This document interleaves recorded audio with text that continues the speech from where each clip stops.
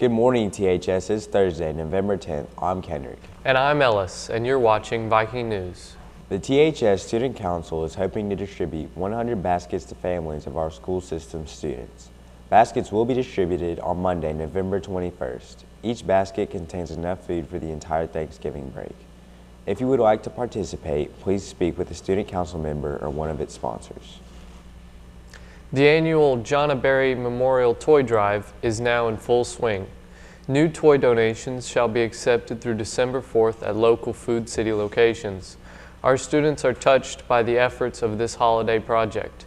Elementary and advanced students who are not currently served by other holiday charitable events are given toys from the drive. THS Civinettes support the drive through the collection of the new toys.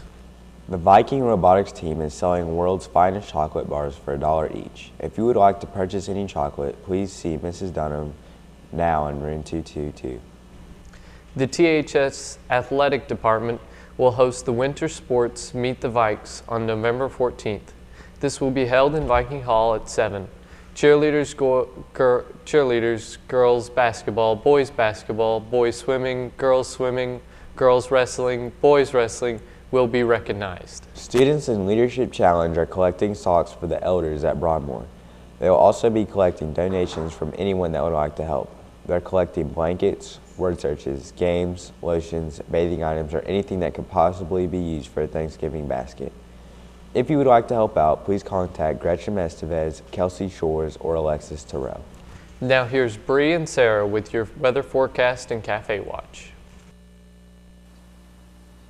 Today's weather is a high of 62 and a low of 37. Tomorrow's weather will be a high of 62 and a low of 36. Now back to the studio for your cafe watch.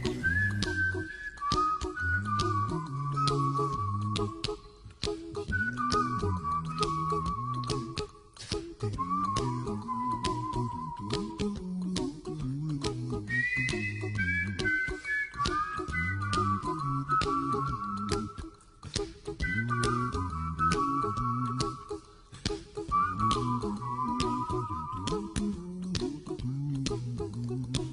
a little song I wrote. You might want to sing it note for note. Don't worry. Be happy. In sports news, the Virginia Tech football team moves up five spots in the new AP Top 25 poll to 18. The Hokies snuck past Duke on Saturday to improve to 7-2 on the season. Tennessee received nine votes in the poll. In local news, there are reports of an explosion in a house in Washington County, Virginia. Fire and rescue crews have been called to the location because the blast leveled the home. The call came in just before 6:30 a.m. Thursday mor morning. No details of what may have happened or if anyone was in the house have been released. In national news, in cities from Boston to Los Angeles, thousands gathered Wednesday night to protest the election results.